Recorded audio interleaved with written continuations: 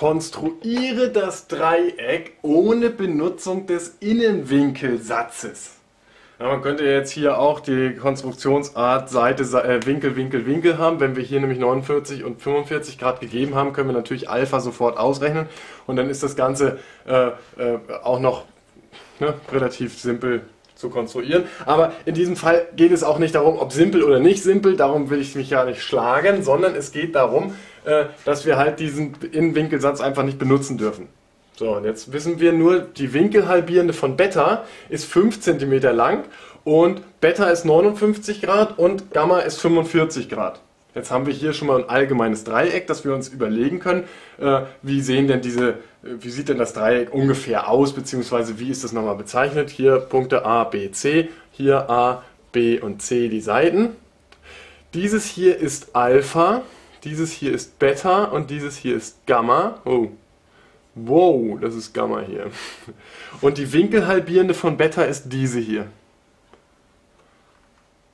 Dann ist natürlich dieser Winkel hier Beta halbe beziehungsweise die Hälfte von Beta. Beta halbe oder ein halb mal Beta ist 29,5 Grad. Nur damit wir das einmal haben. Jetzt die Frage, wie fangen wir an bei dieser Konstruktion? Wir können ja jetzt nicht einfach einen lustigen Winkel dahin malen. Könnte man natürlich auch. Äh, aber schöner ist es, wenn wir einfach mal sagen, okay, das hier ist 5 cm. Unsere Winkelhalbierende von Beta. Das heißt, an diesem Punkt hier ist auch tatsächlich B. Und hier irgendwo wird dann die Seite B sein. Gut, jetzt wissen wir, dass auf dieser Seite ist Beta halbe und auf dieser Seite ist auch Beta halbe. Das heißt, wir können hier unser Dreieck mit dem, mit dem Nullpunkt anlegen und können dann hier 29,5 Grad abtragen und das können wir dann erstmal hier schön hochziehen.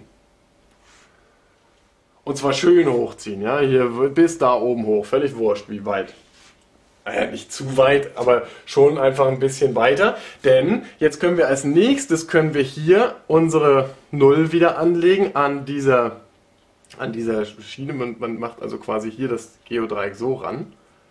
Ja, und verschiebt jetzt diesen Nullpunkt so lange. Nein, macht man natürlich nicht. Das ist hier ein bisschen, bisschen schwierig jetzt äh, für mich an der Tafel gerade. Denn wir müssen jetzt ja eigentlich nur ähm, hier hingehen und 45 Grad abpeilen. Ja, und hier könnte man jetzt auch wieder denken, okay, wenn das hier 29,5 Grad sind, und hier sollen 45 Grad sein. Dann müssten ja hier an dieser Stelle, müsste ich dann ja 180 minus 45 minus 29,5 Grad abtragen. Das darf ich aber nicht. Sondern ich muss jetzt tatsächlich dabei gehen und hier 45 Grad abtragen. An dieser Stelle.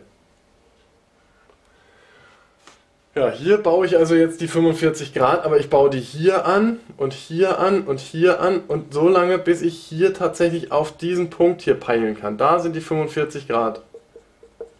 Ja, ich habe hier vorher habe ich hier mehrere Hilfslinien auf 45 Grad eingezeichnet. Die dürfen auch gerne hier ein bisschen weiter rüber gehen. Ich sage auch nicht, dass das jetzt hier die eleganteste Variante ist, das will ich auch äh, gerne einräumen, aber es ist eine, äh, eine Variante, die zum Ziel führt. Ja, man rutscht quasi, und das ist jetzt tatsächlich die, die Erklärung dafür, dass man mit der Zeichenkante in diese Richtung, mit dem Dreieck, mit dem Geodreieck so verrutscht, dass tatsächlich 45 Grad, dieses hier wäre jetzt für 90 Grad das Beispiel. Ja, für 45 Grad würde man jetzt also hier, da ist die 0, und hier ist irgendwie der rechte Winkel von dem, von dem Geodreieck und dann zeigt das Teil hier auf die 45 Grad und damit rutscht man jetzt hier auf dieser Linie entlang, bis man den Punkt hier angepeilt kriegt. Und wie kriegt man raus, ob man den angepeilt kriegt? Naja, man zieht hier immer so einzelne Striche durch und dann irgendwann kommt man tatsächlich auf den Punkt. Diese Hilfslinien hier sind dann ja Konstruktionshilfslinien, die kann man dann hinterher wieder wegradieren, wenn man mit, mit, äh, einem Bleistift arbeitet. Allerdings, wenn man die Konstruktionsart zeigen will, dann ist es natürlich auch nicht verkehrt, die drin zu lassen. Ja, wenn jemand hier im Übrigen eine ganz besonders tolle Art und Weise hat, wie man das konstruieren kann, sonst noch, äh, dann ist er herzlich eingeladen, dieses zu posten. Äh, am besten als Kommentar. so, jetzt haben wir hier oben, hier, hier an der Stelle können wir ja nochmal 29,5 Grad abzeichnen, zack. Und dann ziehen wir die beiden Linien hier, ziehen wir dann durch, bis sie sich treffen und haben dann unser Dreieck mit 59 Grad Beta, 5 cm Winkel halbierende, super Strich, 45 Grad hier und dann haben wir alles, was wir sonst noch brauchen. Wie gesagt, würde ich mich freuen, wenn es hierzu noch andere Ansätze gibt. Ähm, die zu lesen als Kommentar. Kurzzeitig raus gewesen. Und ich zeige deswegen hier auch nochmal das Schild, nicht, dass ich gleich ganz raus bin. Jetzt bin ich ganz raus und sage Tschüss und auf Wiedersehen.